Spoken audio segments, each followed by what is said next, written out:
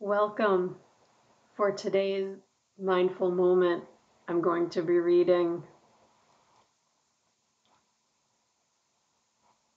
from Courage to Change. This video is being posted on October 13th, so I'm going to be reading the, the October 13th passage. Al Anon meetings opened my eyes to something I had never thought about before.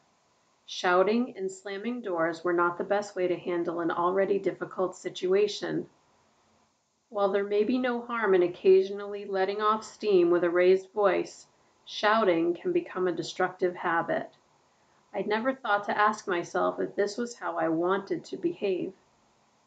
Did this behavior get me what I wanted or encourage me to feel good about myself? When I took a good look, I realized that the answer to this question was no. Loud, angry words and actions demonstrated my frustration and pushed away all hope for peaceful solutions to my problems.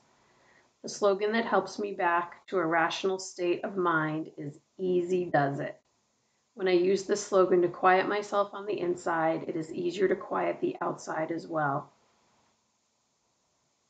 Today's reminder I am seeking a saner approach to everything I encounter. The slogans can be valuable sources of sanity in chaotic situations.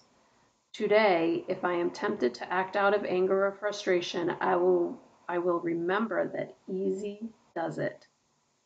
I will try to apply easy does it to every incident that might increase the tension and cause an explosion, and that's from one day at a time in Al Anon. So that is a great slogan, easy does it.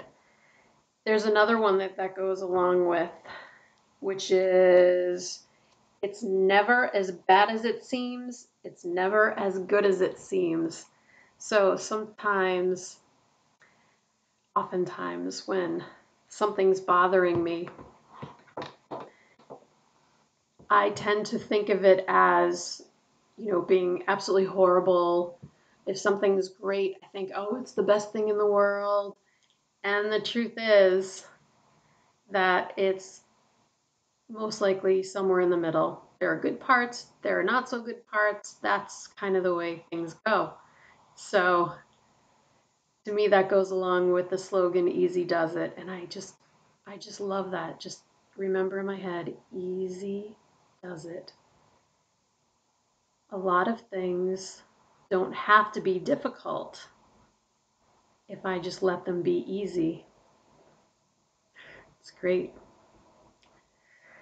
So, what are your what are your thoughts on the slogan "Easy Does It"? Can you apply it to things in your life?